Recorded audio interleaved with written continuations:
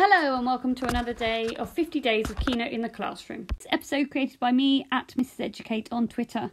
Welcome to day 50 of 50 days of Keynote. So we're on the final day and this is greeting cards so it comes with a bit of a festive spin for the season.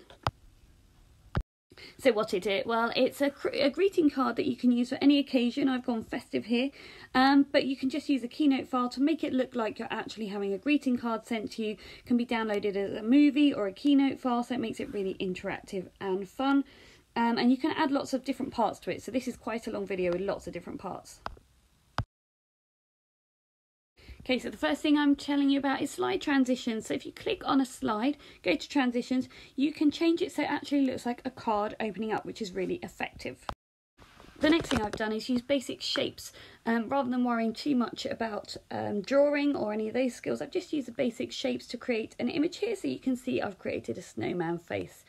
Um, what I've also shown you here is that you can save these images if you select all um, and then group them all together and have photos open as well, you can just drag and drop this image into um, photos and then you can use it later and then it's just a little bit easier to zoom in, zoom out and take it and use it in lots of different ways.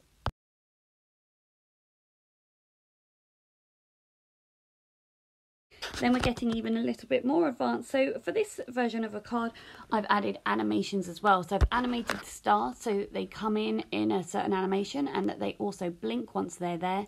And then I've also added in a soundtrack. So you can go up to the three dots on the right hand corner, go down to soundtrack, and you can add a soundtrack that will play over your keynote. So I've just added in a little donkey here, um, just to give you some other effects to make it a bit more interactive, the things that you can do with keynote as opposed to any other greeting card.